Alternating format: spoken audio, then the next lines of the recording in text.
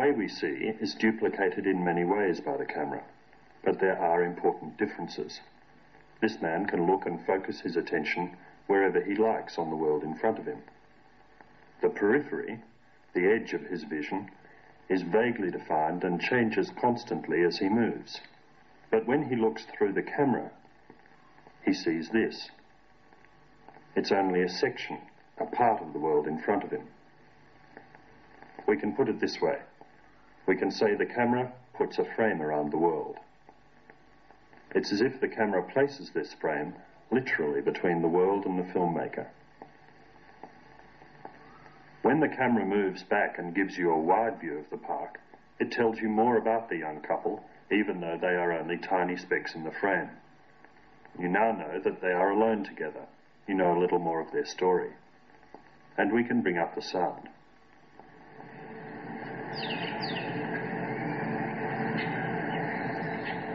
The lesson here is that we can see everything inside the frame. It is part of the story. But we can only imagine what happens outside the frame.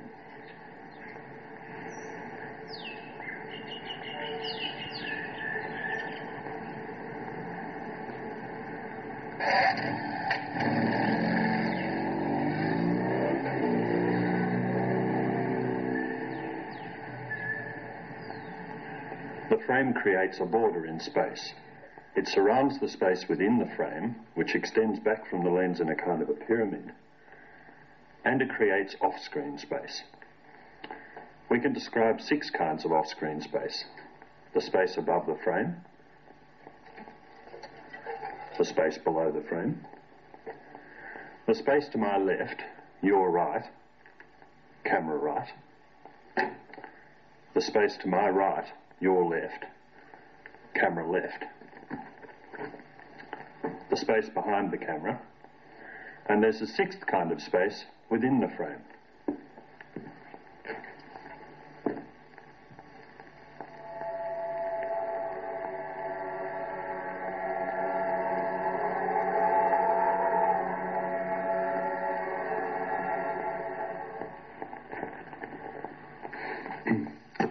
Off-screen space can only become concrete space or real space when the audience sees it. As I said before, it can exist in your imagination, but once you see it, it becomes part of the real concrete space of the filmmaker.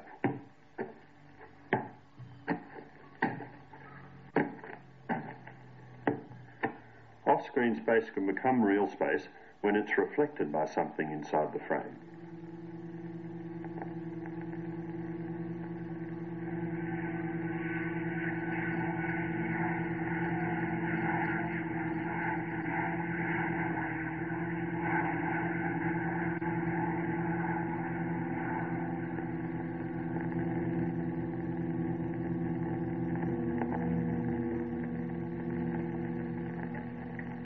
When I look at a painting on a wall, I'm aware, amongst other things, of the physical properties of the picture frame, its colour and texture.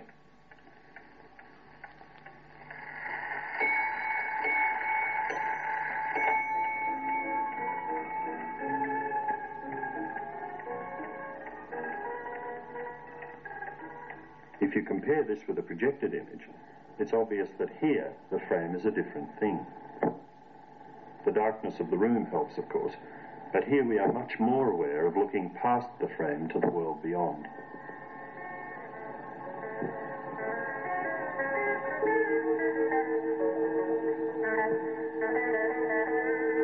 So the frame around a moving projected image becomes the edge of the real world and the beginning of the world that the filmmaker is revealing to us. It's more like looking through a window than at a flat picture.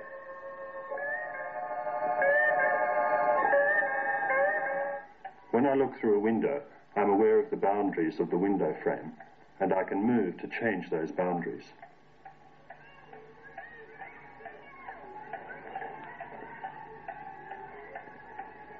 But the audience watching a screen can only see what the filmmaker has chosen to show.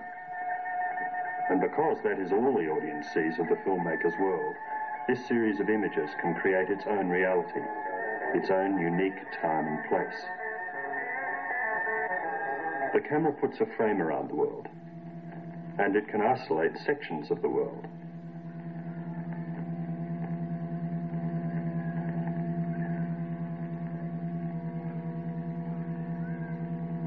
It enlarges those sections to fill the whole screen.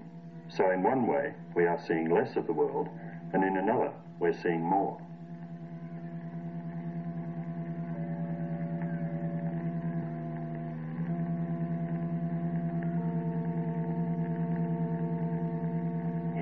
Is going to touch the edges of the television frame. He's discovering the space he occupies on the screen. People off camera, especially the crew, need to know where the edge of frame is so they can work outside it.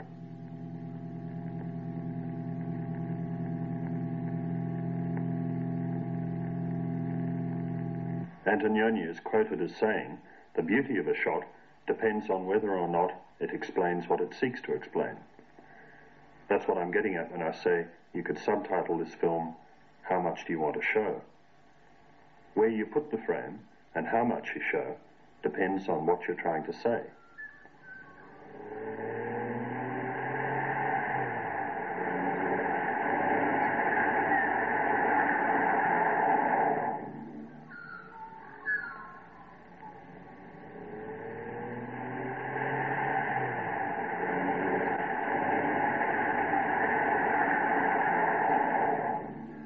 The space around this black shape makes it seem very small. But when it fills the space, it can appear to be forcing the edges of the frame away or sucking them in.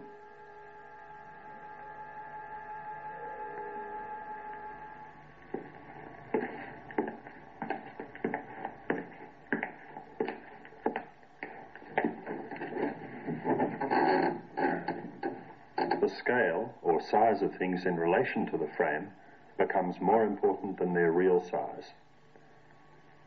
And there's a connection between the frame and everything within it. So, what sort of thing is the frame?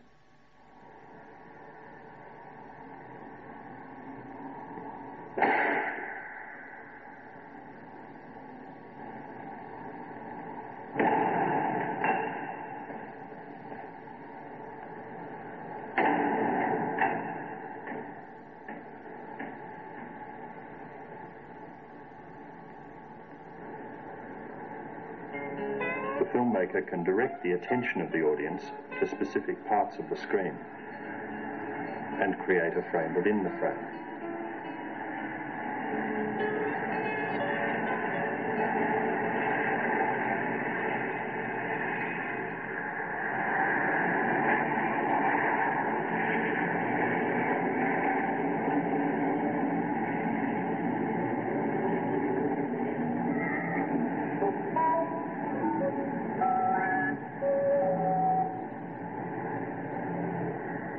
Frame makes possible one of the most powerful elements of visual language, the reveal.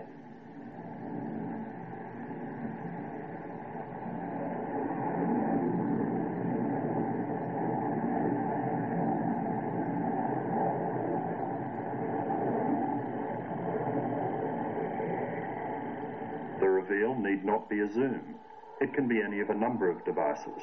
It depends on the tension that is set up between what lies inside the frame and what lies outside it.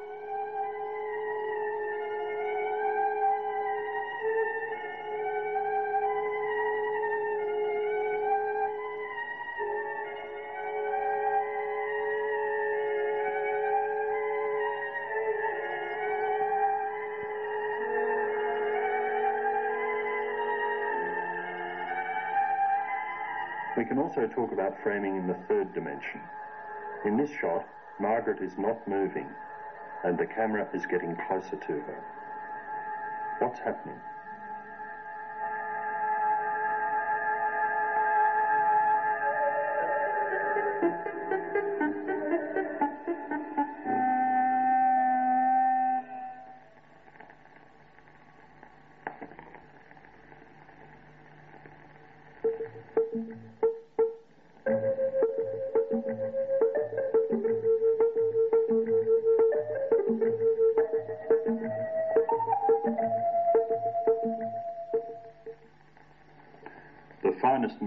The players and setting and the greatest audience involvement results when the camera is brought as close as possible to record the scene without distorting the images.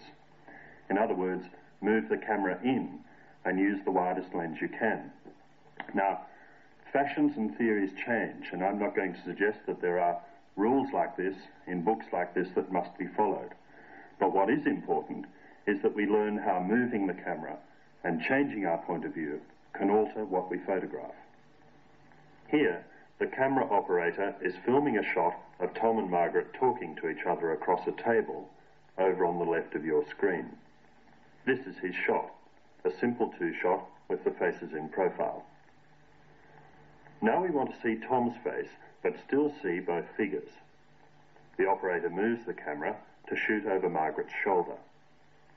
Here's the shot, a mid-shot of Tom with Margaret filling the right-hand side of frame. He can get a similar shot when he moves closer. And yet now Tom seems much further away. The same thing with the matching shots of Margaret.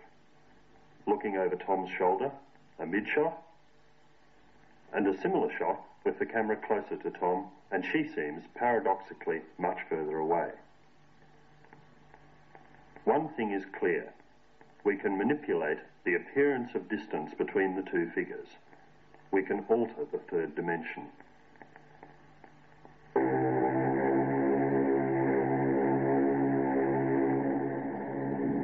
A few days ago I came here and took two photographs with this camera. First of all I used a wide angle lens, a 35mm lens with a short focal length. Then I changed to a 135mm lens, a much longer focal length with a much narrower angle of view, often loosely called a telephoto lens or misleadingly called a close-up lens. And I took two photographs of this scene. Now, we've done some blow-ups of those two shots and I want you to be able to compare them. First of all, the wide-angle shot. You can see almost all of the bridge and there's this expanse of water and the boats in the foreground to give the photograph a strong sense of depth. Now, what we've done is cut away all but the central section of the photograph showing the opera house and we've enlarged that section of the negative to produce a print which is the same size as the first. It's easy to see that the enlargement has made no difference to the relationships of the various elements in the picture.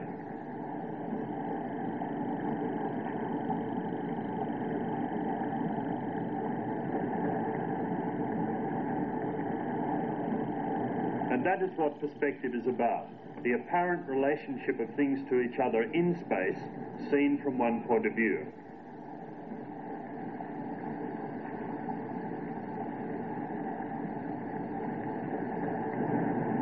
Now let's look at the shot I took with the long lens, the long focal length lens, the 135mm lens.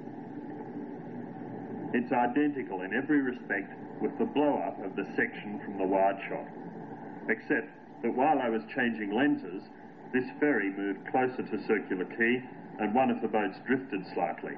Apart from that, the two shots are the same. In particular, look at the relationship of the post in the foreground to the Opera House and the Garden Island crane, which is behind the Opera House and more than a kilometre away from it. If you compare the two photographs, you'll see that these details are identical.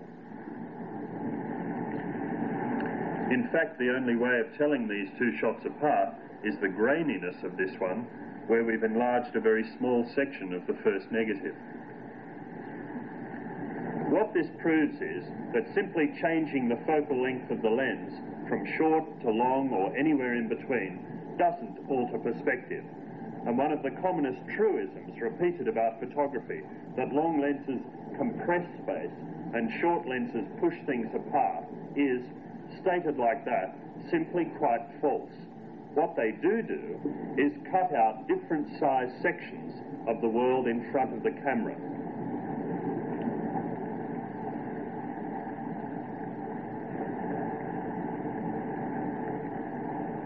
Here's another demonstration of the same principle. We fit a camera with three fixed lenses of different focal lengths 10mm, 25mm, and 50mm. The scene in front of the camera consists of a number of objects, including a black frame and the figure of Tom who sits reading. The camera is mounted on a dolly so that it can move towards or away from the black frame. We can compare what different lenses take and we can see what happens when we move the camera. We begin by looking at the shots taken with the three lenses. The 50mm takes this view. It records the area exactly inside the black frame.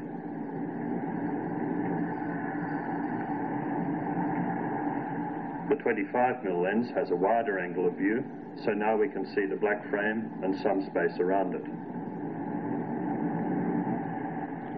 The 10mm lens is a big chunk, a much wider angle of view, and we see much more of the scene. But the same thing we saw with the Opera House is happening here. The different lenses are cutting out different size sections of the world, and the perspective within the black frame is not changing. When we keep the film rolling, you can see the three lenses successively sliding into place and the section of the scene cut out by the black frame, which is exactly what the 50mm lens sees, remains unchanged, like a postage stamp just stuck on the scene. Only its size changes.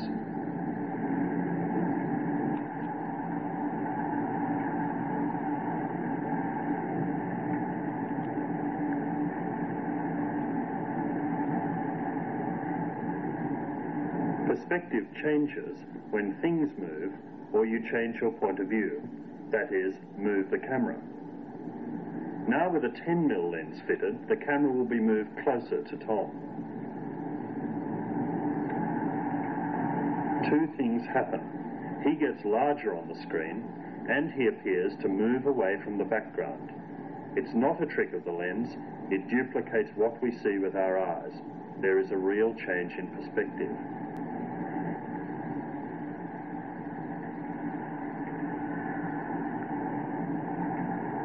When we replace the three fixed lenses with a zoom lens, we can demonstrate the same principle. But now, we can alter the scale of the image as the camera moves forward so that we see exactly what the black frame encloses at each moment. Now the change in perspective caused by the change in the position of the camera becomes dramatically clear.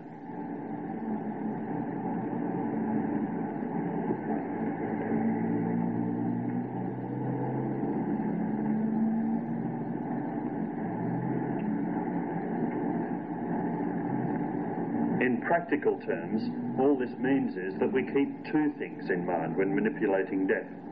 The distance between the camera and the subject and the focal length of the lens. A great deal of what is called distortion is, again, only a duplication of what we see. If I reach out and touch your face, you see something like this, a huge hand compared to the size of my head. But, in real life, our brains correct for the apparent distortion. What we know changes what we see. What we're dealing with here are not genuine distortions at all, but natural manifestations of perspective.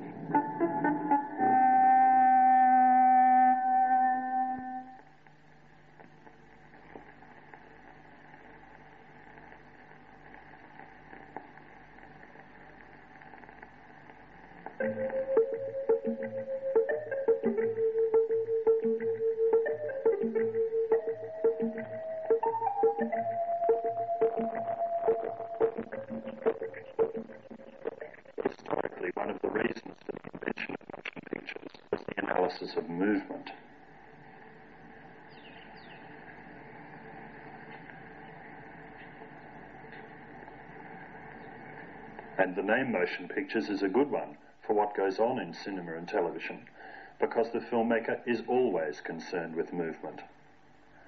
Movement is change change of position, change of posture, change of appearance. For many living things, the ability to accurately recognize movement is a matter of survival.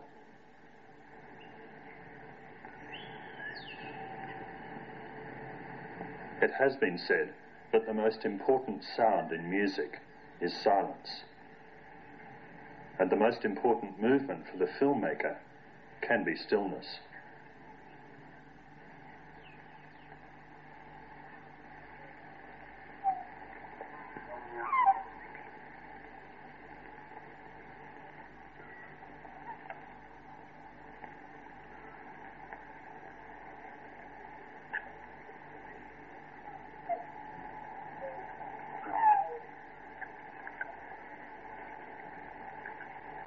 In this film, I want to distinguish three areas of movement.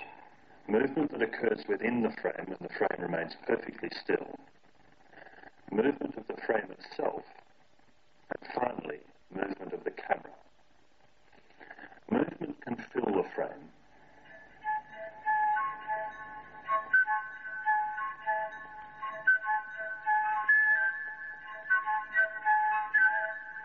Movement can have a strong direction in the frame.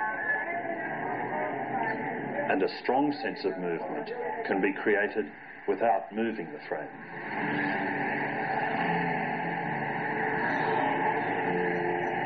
Some people become quite frightened about keeping the camera and the frame still. And yet one of the great action directors, John Ford, is credited with saying, nail down your camera and depend on the cutting.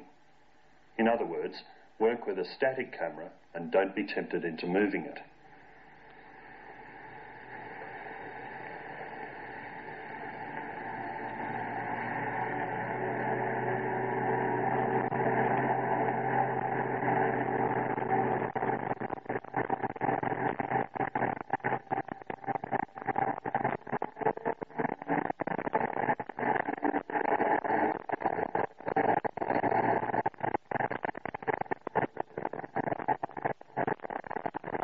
Let's look at the second means of capturing with the camera station.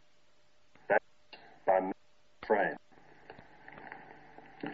Many of the aspects of motion pictures duplicate our own processes of observation. Our ability to follow or scan with our eyes is duplicated by the panning and tilting movements of the camera.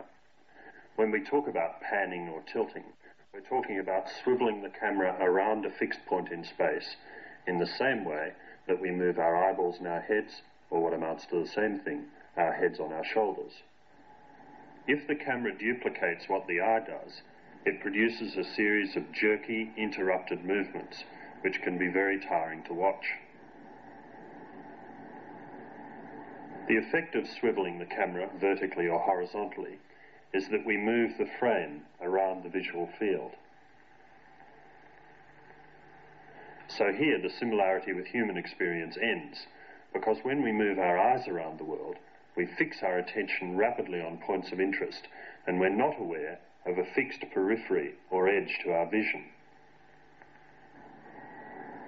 When the frame moves slowly over a scene, our eyes have a chance to do what they normally do, fixing on points for long enough to take them in, and then moving on.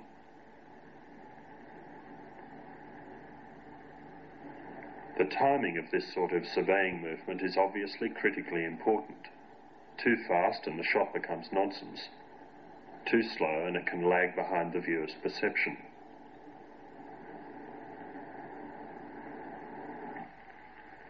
A movement like this can help to relate two areas geographically, but a panning or tilting movement over areas of no visual interest can be a big waste of time. This shot has no middle, so it is often better to take John Ford's advice and rely on cutting.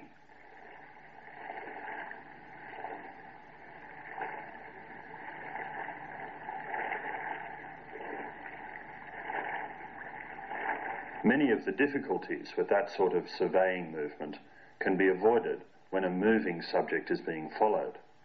Finding a visual reason for the movement helps to keep the audience's concentration within the scene.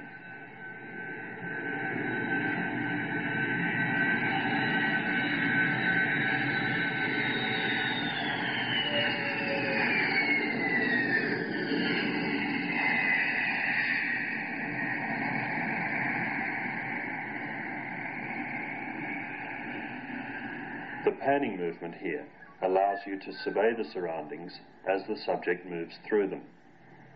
And the movement need not end if there is a cut to a similar moving shot. Another way to move the frame is to use the zoom lens. When zoom lenses first appeared, many filmmakers avoided them because the lenses were of poor optical quality and because the zooming movement seemed to attract unnecessary attention to the mechanics of the medium. Familiarity and perhaps a more self-conscious style of filmmaking have changed this, but it is possible to disguise zooming movements. For example, a zoom can be combined with a pan.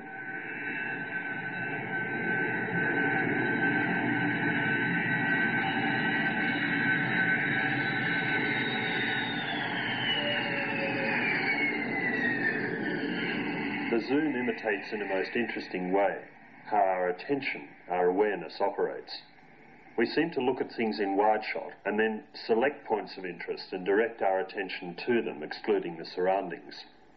So the success of a zooming movement is not so much a matter of the mechanism itself, but rather whether or not it is appropriately used. The most frequent misunderstanding about the zoom lens is the idea that it alters perspective. But perspective only changes when we change our point of view, when we alter our position in relation to what we're looking at. So a true change of perspective can only be achieved by moving the camera. Movement is life itself. When the camera moves, it becomes alive, searching out aspects of the world around it and even participating in the events taking place. Suddenly, the third dimension, depth becomes apparent as the different layers of the scene move in relation to one another.